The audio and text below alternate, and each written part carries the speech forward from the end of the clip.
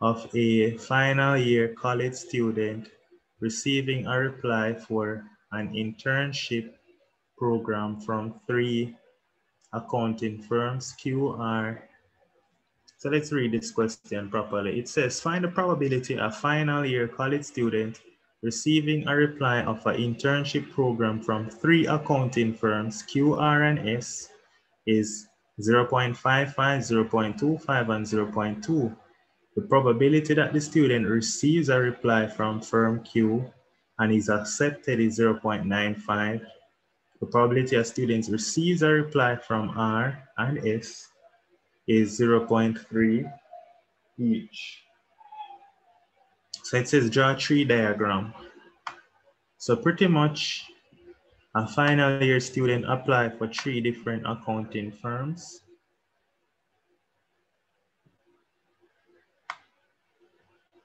The three different accounting firms are Q, R, and S. These are the three accounting firms Q, R, and S.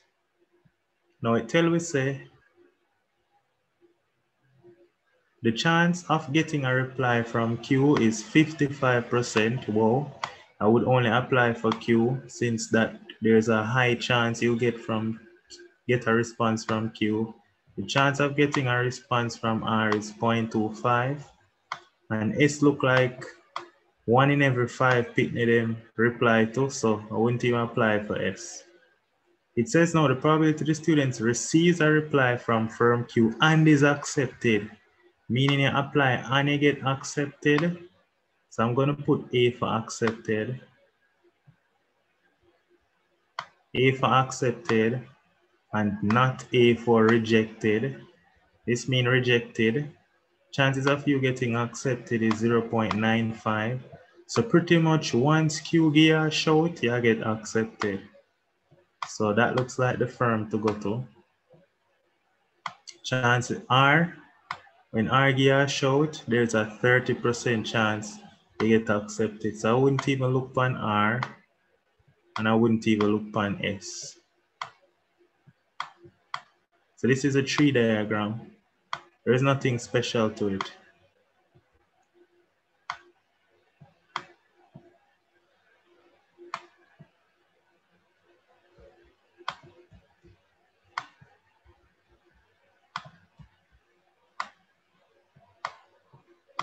nice and easy. So this is A, this is not A.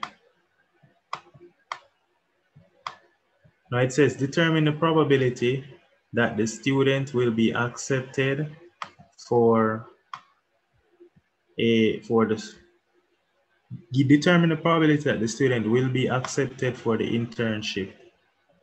All right, so we want the probability of A now the probability of being accepted is going to be the probability I apply for Q and get accepted. So that is 0.55 multiplied by, so it's the probability of getting accepted by Q and accepted. So that's 0.55 times 0.95 plus the probability of getting a response from R and getting accepted times 0.3 plus the probability of getting a response from S, which is 0.2, times the probability of S accepting you, which is 0.3. So this is what we have, the probability of A, which is 0.55 times 0.95 plus 0.25 times 0.3 plus 0.2 times 0.3 that will give you the probability of A. The probability of A works out to be 0.55 times 0.95 plus 0.25 times 0.3 plus 0.2 times 0.3 and that works out to be 0.6575. So there's a 66% chance that the student will be accepted. If you want to write it in words, there is a 65.75% chance she will receive she will receive an internship. So there's a high chance she's going to get an internship. Part B. Part B says, Table 2 shows the length in centimeter of 20 spindles prepared by a carpenter to build a, rail, build a railing for an existing staircase. So the 20 is 1.5, 3.2, 6.1, 9.4, 11.0, 12.6. All of these value in here. It says determine the mean length. Now the mean length is equal to, they like to call mean bar x. So you see this x bar, bar x, however you want to call it. Bar x, which is equal to the sum of x divided by n. So the sum of x mean add up everything in this table, then divide it by the number of spindles, which is 20. That will give you the mean length. So come do that now.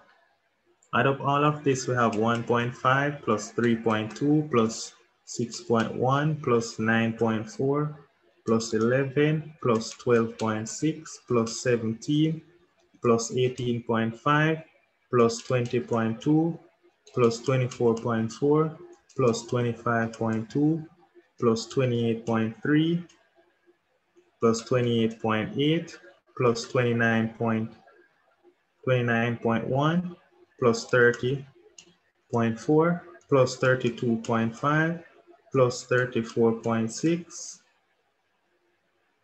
plus 38.3 plus 38.4. So that's 409 divided, 409.5 divided by 20. 409.5 divided by 20. That works out to be 20.48.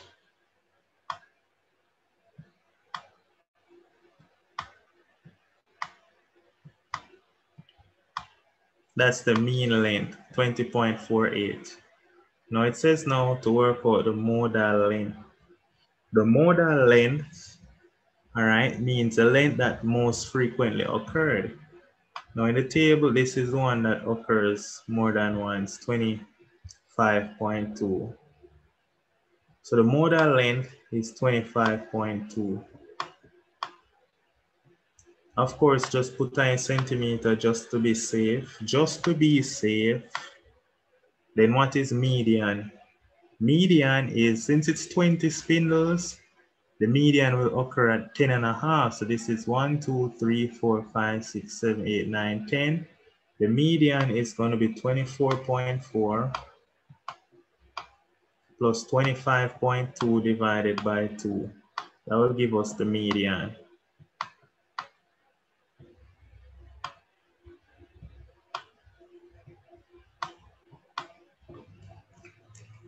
So 24.4 plus 25.2 divided by 2, that's 24.8. So the median length is actually 24.8 centimeters.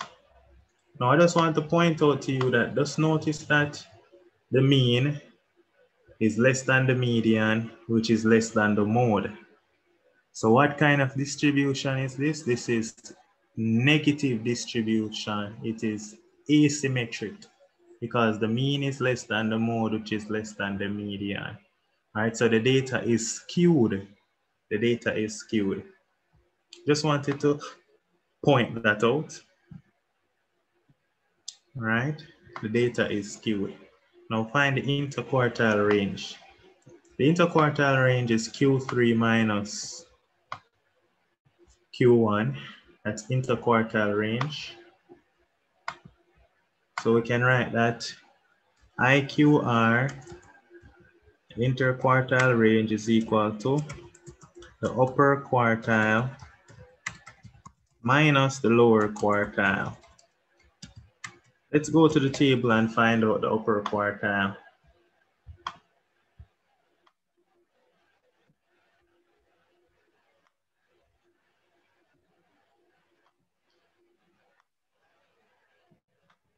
Going to the table to find out the upper quartile. So the upper quartile is going to be three quarter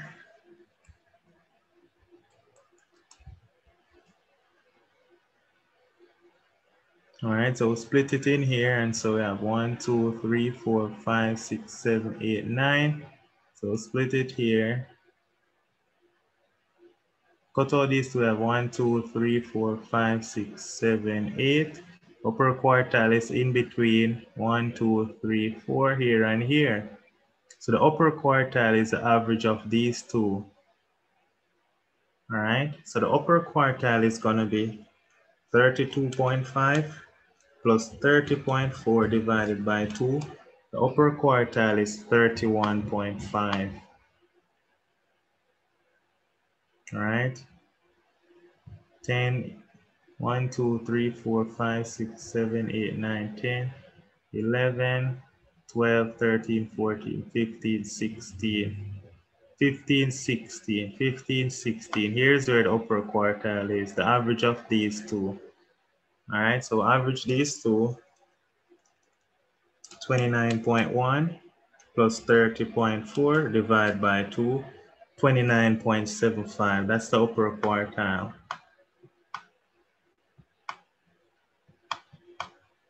Once you find the upper quartile, to find the lower quartile, it's going to be a quarter of 21, and a quarter of 21 is five and a quarter. So we go one, two, three, four, five. So the upper quartile is the average of these two. All right, so we have 11.0 plus 12.6 divided by 2 is 11.8.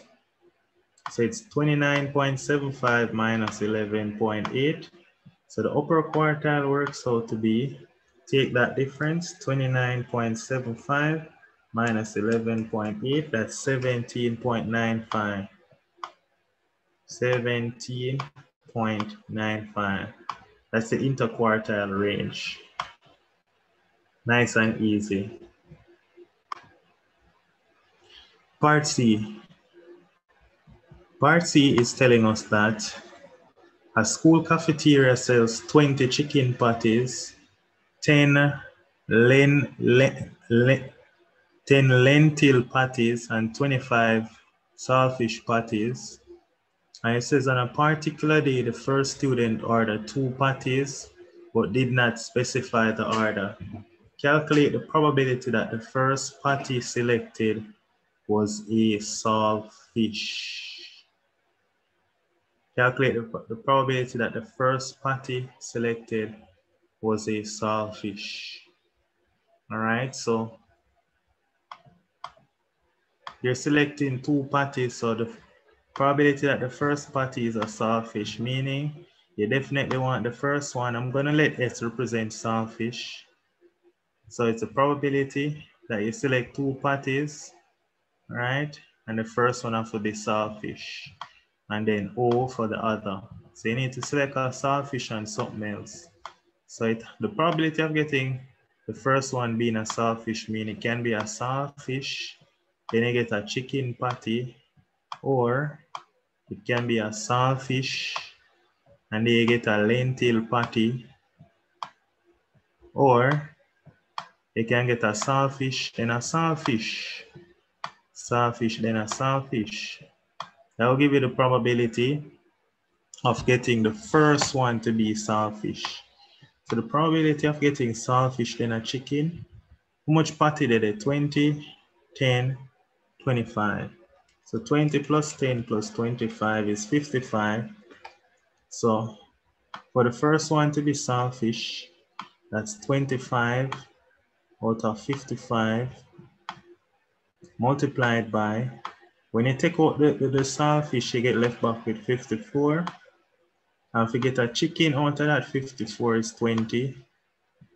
Plus, if you get a saltfish, and then a lentil, you have 55, and you take out a saltfish, that's 25, times, you take, you only have 54 left for the second draw, and a lentil is 10, plus chances of you getting a saltfish, then a saltfish is 25 out of 55 times get the next saltfish now is 24 out of 54. So when we work out this now, this will be the probability that the first patty is a saltfish.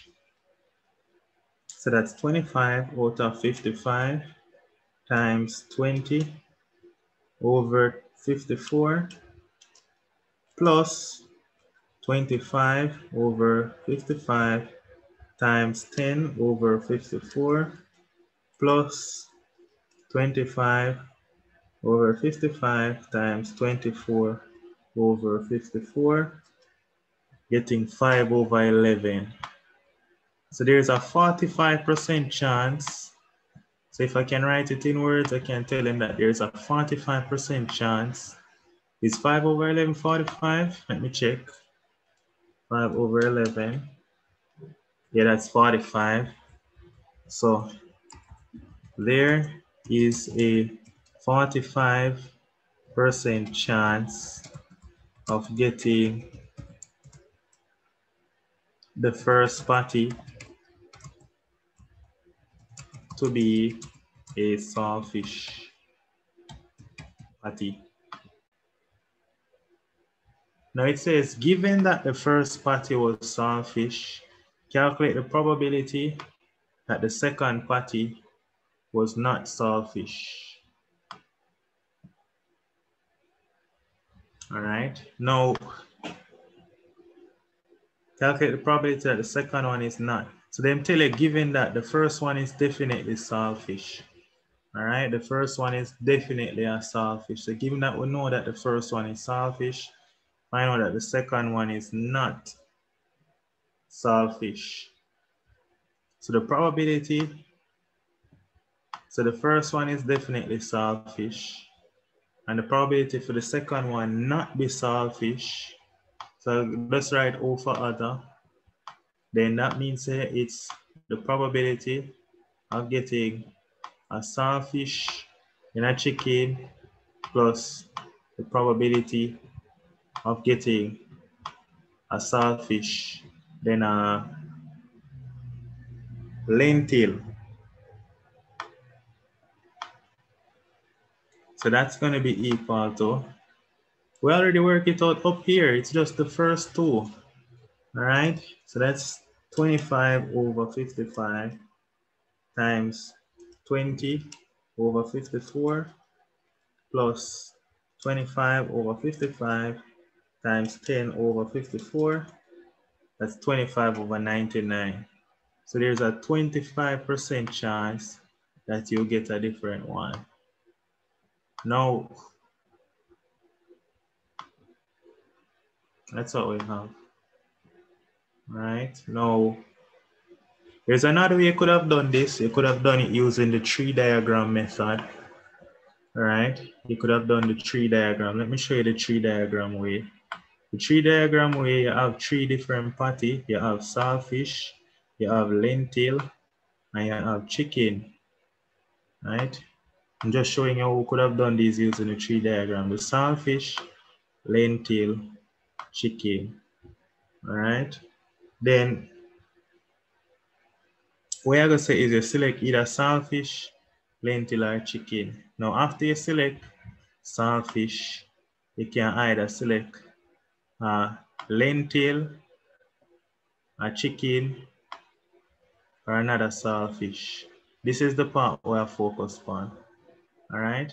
Now chances of you picking the first one to be saltfish was 25 out of 55. Chances of you picking a lentil was I think 10 out of 55. And the chance of you getting chicken I think was 20 out of 55. Now when you take out one party, only left back with 54. So over here, so gonna have out of 54. If you choose saltfish, then you uh, have 24. If you choose lentil, then you uh, have 9. Well, if you choose saltfish, then you uh, have still 10 out of 54. And then right? So I still 20 out of 54. All right. This is what I'm saying could I use to help you solve these two questions. Using the tree diagram, chances of getting a saltfish and then another one would be you can get saltfish and saltfish or saltfish and lentil or saltfish and chicken. All right.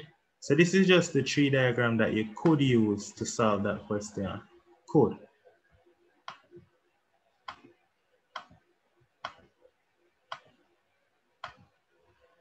So we're done with this question. And now we we'll go to the final question on the paper. The easiest question, even though every question is the easiest question. It says the displacement of a particle from a fixed position or fixed point is given by S is equal to T cubed minus 5 over 2 T squared minus 2T. Determine the velocity of the particles when T is 3.5. So to determine the velocity, first thing you need to know is the S. The velocity is ds by dt. So we'll differentiate this now.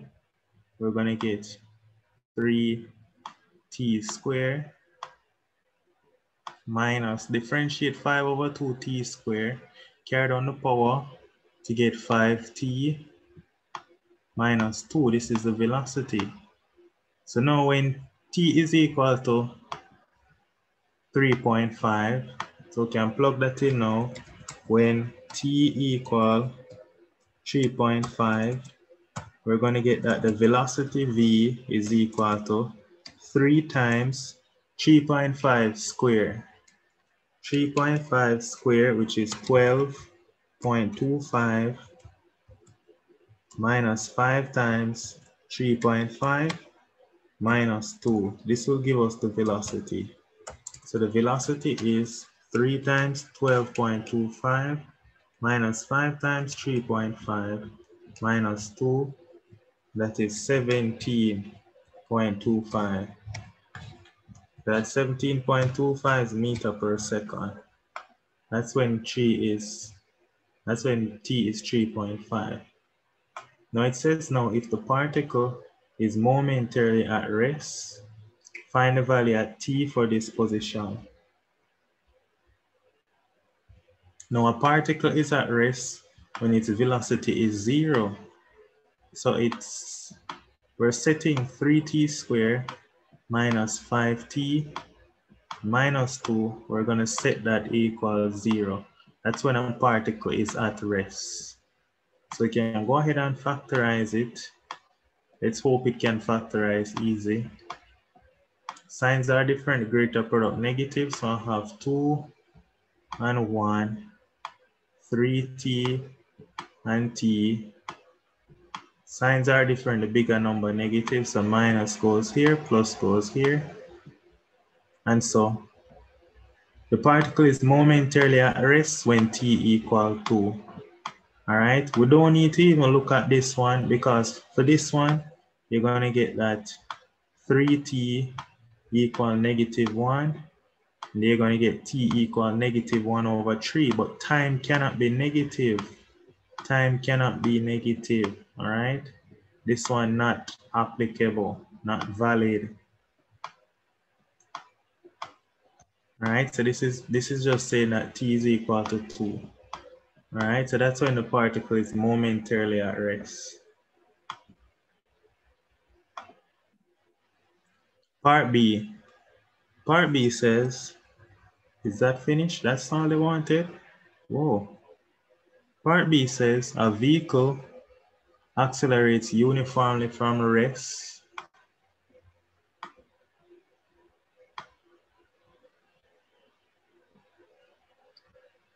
So I'm just doing a sketch. I want it's gonna for the sketch, so I'm just putting up my graphs.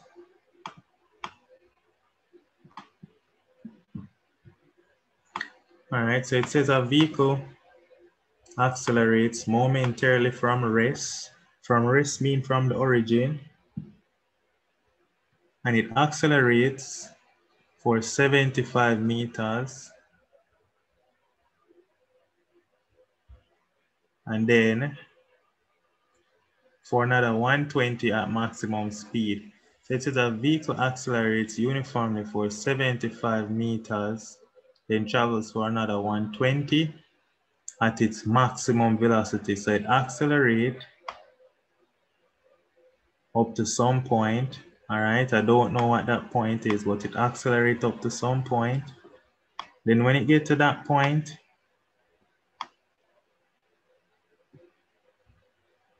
just want to make this accurate as possible. Let's work with that. When it get to this point now, when it travels 75 meter, it then travels at maximum velocity for another 120 meter. And then the vehicle, the vehicle, the vehicle later stops at a, trap light, at a traffic light. The distance from rest to the traffic light is 240 and the time for the journey is 15. So that means it going back down now. So it says now, in the space below, sketch a velocity time graph to illustrate the motion of the vehicle. So it said the vehicle stays so, and it accelerates uniformly. So this is velocity, and this is time. It says that the vehicle accelerates uniformly for 75 meters. So we know that the area for this portion is 75 meters. It then says it travels for another 120 meter maximum speed. So we know that the distance in here is 120 meters. It said the vehicle later stops at a traffic light. So after it accelerates, it has slow down to stop. You have to slow down to stop. So the distance from rest to the traffic light is 240. So from, from rest to here is 240 and the time for the whole journey is 15. This is 15. That's the sketch. Go answer them question now. It says calculate the length of time the vehicle maintains a constant speed. Now,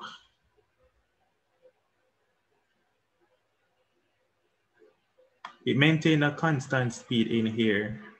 Now, in order to work this out now, first thing I want to point out is that the total area under the graph is 240 meters which is the area of the trapezium, all right? The total area under the graph is 240.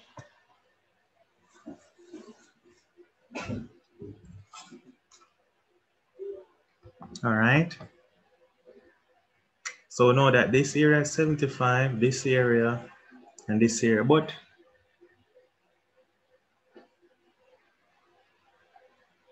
all right, so now let's let's call it, let's call here T1 and let's call here T2. All right. Now, what do we know? I'm just writing down what we know. We know that 75 is equal to a half the base times the height. All right. And we don't even know the velocity that he was traveling at yet. We don't know that. All right, now let's see what we're gonna do. This looks a nice one. Now, first and foremost, the total distance covered was 240.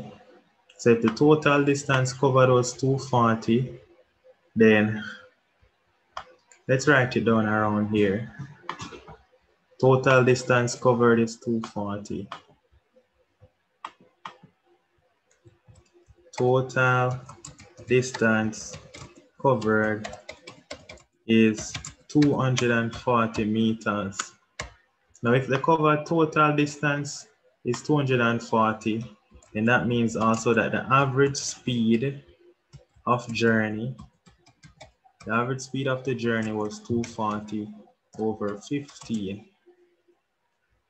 240 divided by 15, which is 16 meter per second. Now that's irrelevant for now. Let's, we're just writing down what we know. We also know that the distance, the distance, you know that the distance from maximum speed the distance from maximum speed to rest is, the distance from maximum speed to rest is 240 minus the 75 plus 120. That works out to be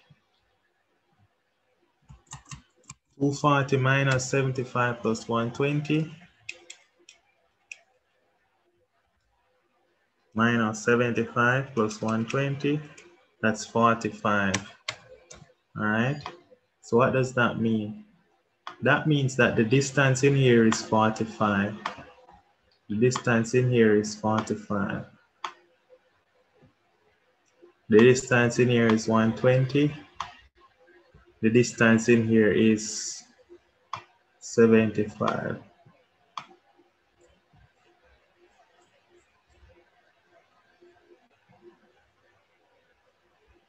All right, so we're good.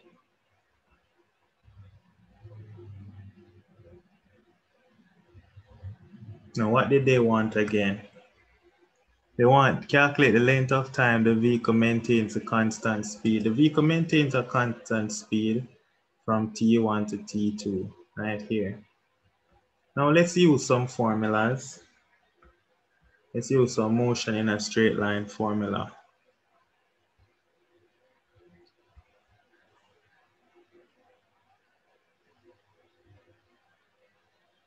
You know, V square is U square plus 2AS.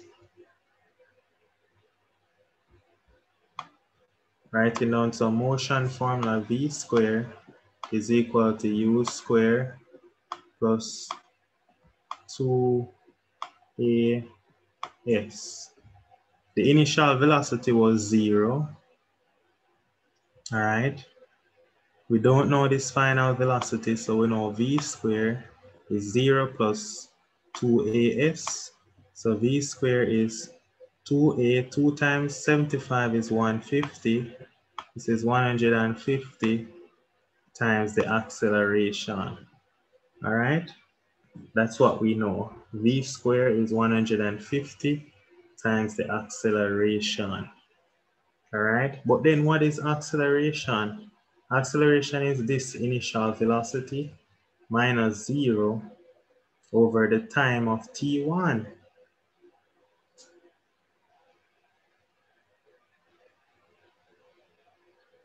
We're just trying to, once we find this velocity, we'd have gotten everything that we need. All right, so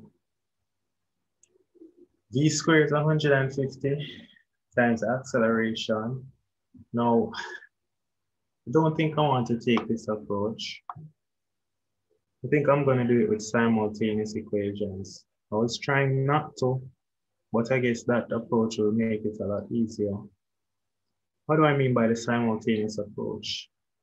What I'm saying is this 75 is a half the base, which is the base would be T1 times the height, and the height, let's call this V, right? So what I'm getting is 75 times 2 is equal to T1 times V. T1 times V. Now in here we have 120, right? Now we have 120 is equal to length. The length is T1 minus T2. So the length is T1 minus T2 times the height of V times V. All right? Well, actually T2 minus T1. So 120 is equal to T2 minus T1 times V. So let's use simultaneous equations solve them. So what we're saying is 150 is equal to V times T1. And then we see another equation that is saying 120 is equal to VT2. Boy, God. 120 is VT2 minus VT1. But VT1 is 150. And so what we're then saying is VT2 is equal to, since VT1 is 150, VT2 is 270. Good. Now, finally, looking at it, we had that overall, the distance covered is 240 meters. Now 240 meters, all right? We don't even need to use that last 240. Let's use this 45. Now the 45 right here that we just find, 45 is going to be equal to area of the triangle, which is a half the base, and the base is going to be 15 minus T2 15 minus T2 times the height of V times the height of V. So it's V over 2 times 15 minus T2. So if we multiply through by 2, we get 90 is equal to 15V. 90 is 15V minus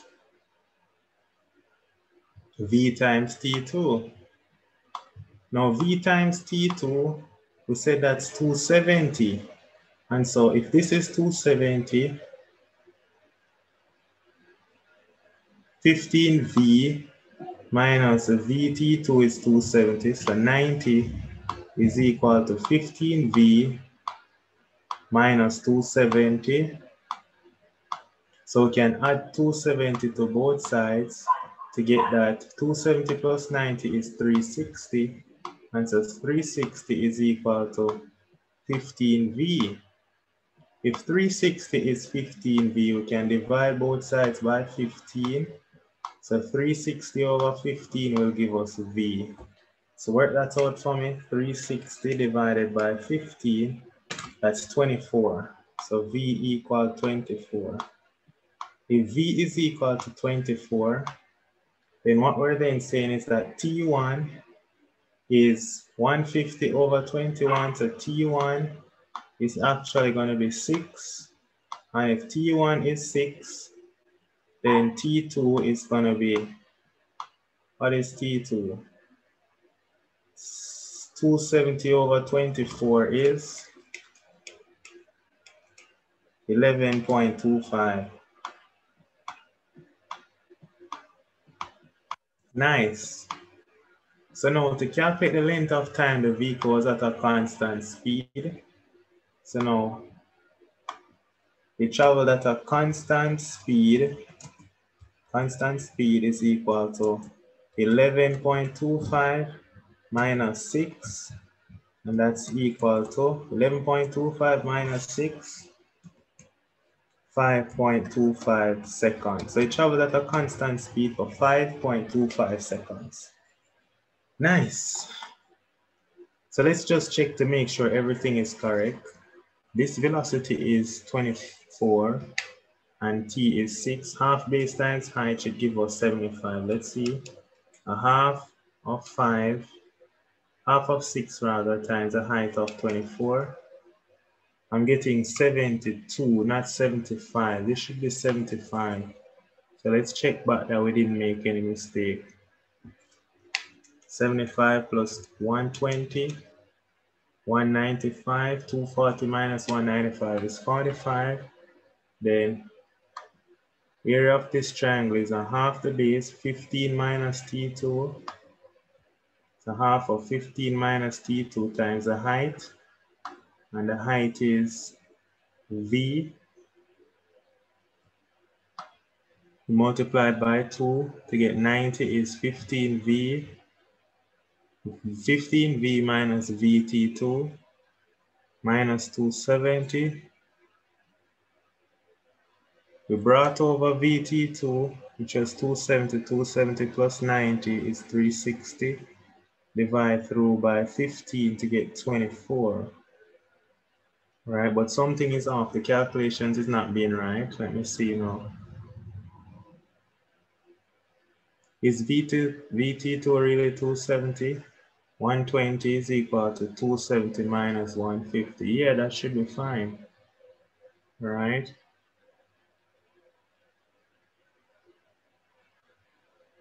V is 24, T1 is 6, T2 is 11.25. Now let's check it out. 120 is 5.25 times 24. This is 126, so I'm not getting 120 either. We need to spot this calculation error. There's a calculation error made somewhere here. I want to clear all of this.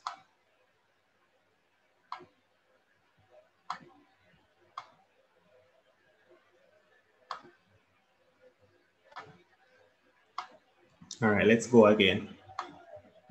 Because we made an error somewhere. Oh boy, hate making those mistakes. Now, let's use the total distance then, right? We can never go wrong with the total distance. The total distance covered is 240. All right, and so what that means is 240 area of trapezium is equal to a half a plus b over 2, which is a half a. a is t2 minus t1 plus b. b is 50 times the perpendicular height of v. If I multiply through by 2, I'll get 480 is equal to V times T2 is VT2 minus VT1 plus 15V. All right. Now we said VT2 minus VT1. VT2 is 270 minus VT1 is 120. I think that is so. Let's check again. Where did that go? Why did it disappear? How do I go back?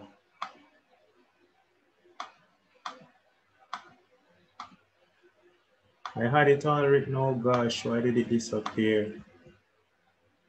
having some technical difficulties. So again, total distance, tired of writing this now, the total distance, as we said, was 240, and it's equal to area of trapezium. Area of trapezium is a half the sum of the parallel sides. So it's a half T1 plus T2, half T1 plus T2, plus half T1 half T2 minus T1. Half T2 minus T1 plus B, and B is 15 times the perpendicular height of V. If you're wondering where I get this from, let me show you where I got that from. Area of trapezium is a half T2 minus T1 plus 15 times perpendicular height V. That's area of trapezium.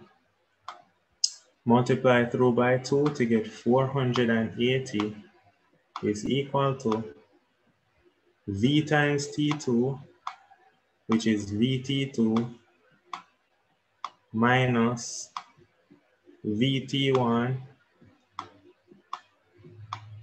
plus 15V All right. Now VT2 minus VT1, that's going to be 270 minus 150, because remember we said that VT2, VT2 is 270 and VT1 is 150, all right? So this works out to be two 270 minus 150 is 1. VT1 is what? 150. Here's how we got it. All right, 120 is equal to VT 120 is VT2 minus VT1. So all of this is just 120.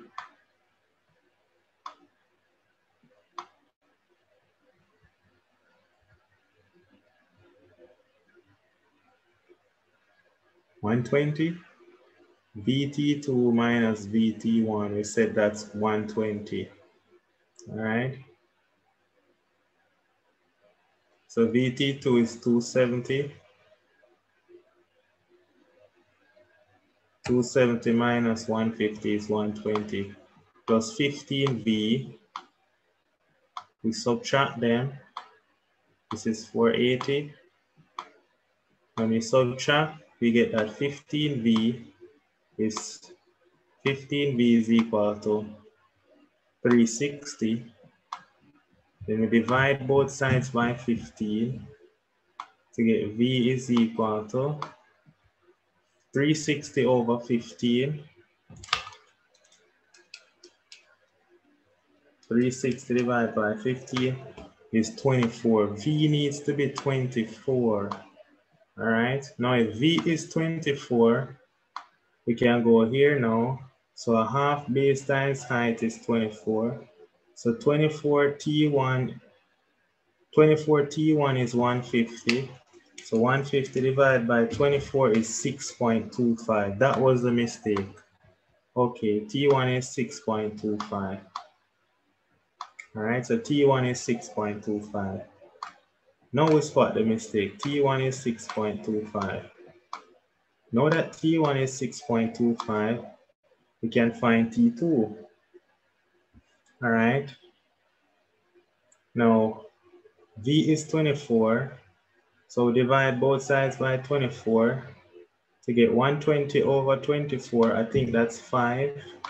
And so 5 is T2 minus T1. T2 minus T1 is 5.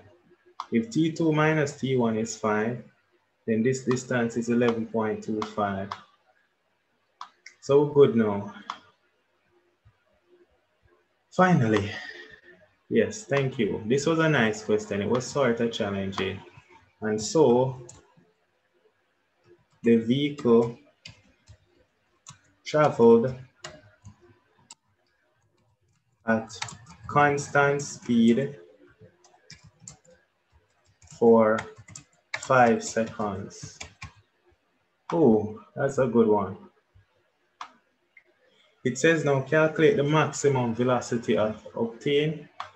We calculate it already. Maximum velocity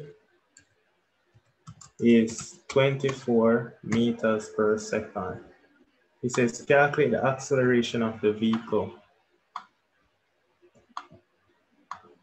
Acceleration of the vehicle is a gradient, and so the acceleration is equal to the velocity of 24 divided by time of 6.25. That would give you the acceleration. So let's just write it around here. So the acceleration, acceleration A is equal to maximum velocity 24 divided by the time 6.25. We'll get the acceleration.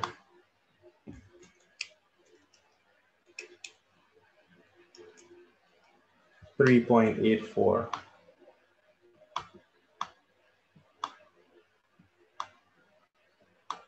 Nice, so that was the acceleration of the vehicle. So the acceleration of the vehicle was 3.84 meter per second square. The acceleration of the vehicle. Nice and easy. soft. that ends this paper. Was a very easy paper, no trick question to it. This one, this one was a little bit spicy, but nothing too challenging. This takes care of 2017.